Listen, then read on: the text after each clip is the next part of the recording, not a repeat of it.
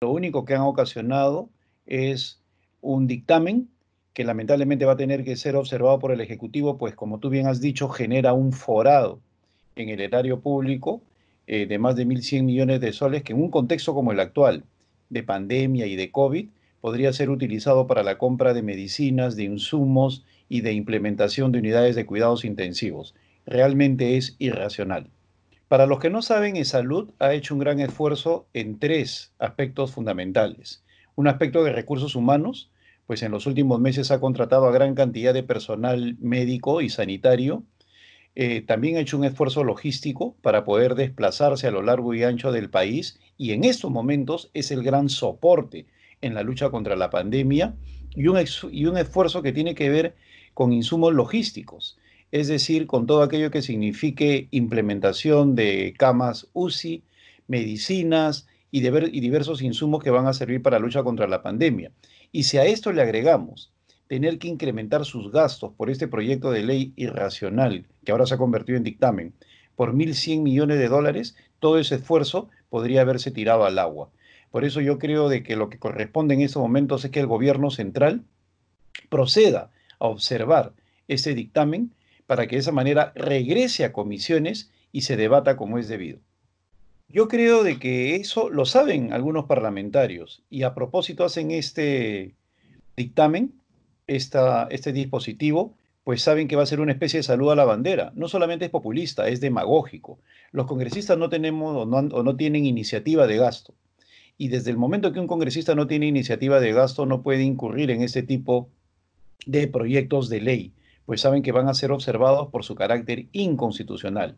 Sin embargo, hemos visto cómo se ha discutido, no ha habido ni un solo voto opositor, lo cual nos lleva a pensar de que estamos hablando de un Congreso que no solamente está actuando populistamente, sino pensando electoralmente, y a costa de ello le hace un tremendo daño al país, pues el gasto en el cual se tendría que incurrir para satisfacer los deseos electorales del Congreso sería de cerca de más de 1.100 millones de soles, lo cual en la práctica llevaría a la quiebra a e salud.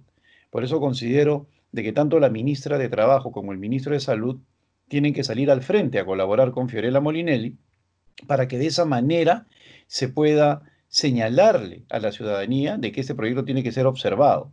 Es decir, tiene que ser devuelto al Parlamento para que sea discutido de manera técnica y con un horizonte realmente eficiente pensando en el país.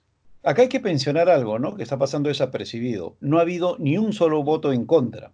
Por lo tanto, hay agrupaciones políticas que se pasan la vida exigiendo meritocracia y, sin embargo, cuando llega la hora de legislar, se zurran en la meritocracia, se olvidan de servir y proceden a hacer estos proyectos de ley en los cuales eh, el nombramiento tiene que ser al caballazo. Yo creo que eso va en contra de todo lo que se está buscando en el país que tiene que ver con un ascenso meritocrático en función de los méritos y de las capacidades para que de esa manera cada sol que sale del presupuesto público esté correctamente destinado. En estos momentos de salud está haciendo un gran esfuerzo para seleccionar personal de gran calidad, es algo que me consta, pues lo puedo ver en los medios de comunicación, y sin embargo, con esta actitud lo único que se lograría es destruir ese proceso en el cual ascienden los mejores. Entonces, es fundamental de que este proyecto se revise, para que de esa manera, no solamente de manera progresiva, sino de acuerdo al presupuesto que en estos momentos tiene salud, se proceda a hacer un replanteamiento en cuanto a los recursos humanos. Pero por otro lado, no olvidemos, hoy por hoy la urgencia es la pandemia.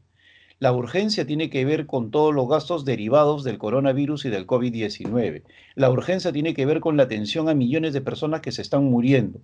Y no se puede desplazar dinero para atender un pago de planillas cuando ese dinero se necesita para oxígeno, para camas UCI, para compra de medicinas, para personal especializado, para traslado de enfermos, para atención de urgencias. Nosotros vemos a la señora Fiorella Molinelli viajando por todo el país para atender situaciones que tienen que ver con lo dramático. Y se va a quitar ese dinero de salud para que se paguen unas cuantas planillas, yo creo que eso no corresponde. Nadie niega el derecho de que los trabajadores puedan tener algún tipo de beneficio, pero este no es el mejor momento. No es oportuno hacer un gasto de 1.100 millones de soles en estos momentos cuando lo necesitamos para insumos para combatir la pandemia. No, es algo peor que político, es simplemente electoral. Cuando algunos dicen que es populista, yo le agregaría es populista y electoral. Se está pensando en la satisfacción de un pequeño grupo de personas, que dicho sea de paso es ilusión, pues no se va a poder llevar a cabo, y por otro lado se están olvidando del interés nacional que es la lucha contra la pandemia. Y no solamente le están haciendo un tremendo daño a salud, sino a todo el sector salud en su conjunto. Yo le pediría a los señores del Parlamento que actúen de manera más reflexiva y antes de sacar una ley que esté de espaldas a la realidad, pues que convoquen a los técnicos y a los propios involucrados, es decir, aquellas personas que dirigen el sector salud y e-salud, para que de esa manera vean cuál es la realidad del drama de la pandemia y en ese sentido procedan a legislar de acuerdo a las urgencias que hoy tiene el Perú.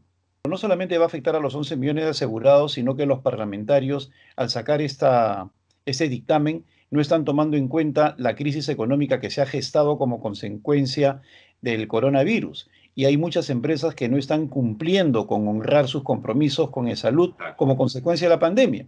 Y el salud está teniendo el tino, el acierto de comprender esa situación dramática. Entonces, hay menos ingresos para el salud porque las empresas están pasando por un mal momento.